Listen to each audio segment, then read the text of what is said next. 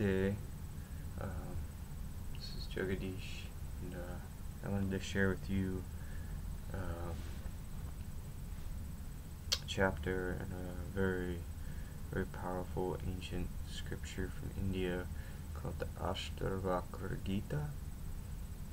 I'm hoping I pronounced that right, but um, this is uh, the second chapter, and uh, I'll start with there. Called Awareness. Yesterday, I lived bewildered in illusion, but now I am awake, flawless and serene, beyond the world. From my light, the body and the world arise, so all things are mine, or nothing is. Now I have given up the body and the world. I have a special gift.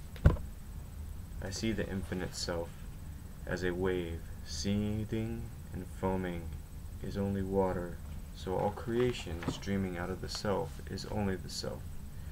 Consider a piece of cloth, it is only threads. So all creation, when you look closely, is only the self. Like the sugar in the juice of the sugar cane, I am the sweetness in everything I have made. When the self is unknown, the world arises, not when it is known. But you mistake the rope for the snake. When you see the rope, the snake vanishes.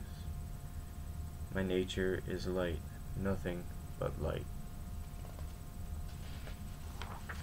When the world arises, I alone am shining.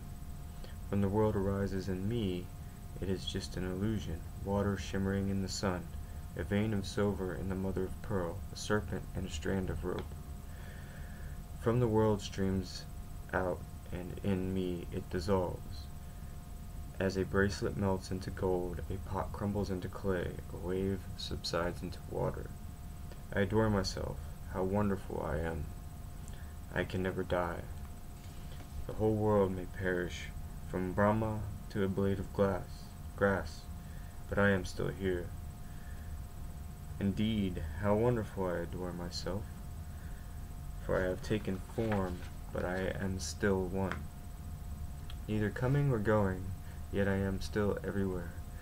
How wonderful, how grateful my pow- how great my powers, for I am one without form, yet till the end of time I uphold the universe. Wonderful, for nothing is mine, yet it is all mine.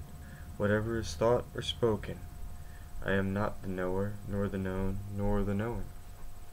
These three are not real. They only seem to be when I am not known, for I am flawless. Two from one, this is the root of suffering. Only perceive that I am one without two, pure awareness, pure joy, and all the world is false. There is no other remedy. Through ignorance, I once imagined I was bound, but I am pure awareness. I live beyond all distractions, in unbroken meditation. Indeed, I am neither bound nor free, an end to illusion, it is all groundless, for the whole of creation, though it rests in me, is without foundation. The body is nothing, the world is nothing. When you understand this fully, how can there how can they be invented? For the self is pure awareness, nothing less. The body is false, and so are its fears. Heaven and hell, freedom and bondage. It is all invention.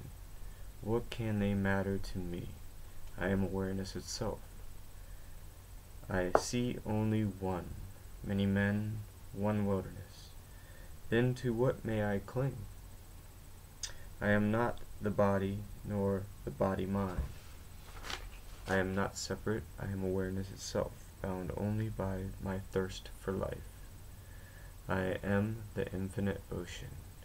When thoughts spring up, the wind freshens, and like waves a thousand worlds arise. But when the wind falls, the trader sinks with its with his ship. On the boundless ocean of my being, he founders, and all the worlds with him.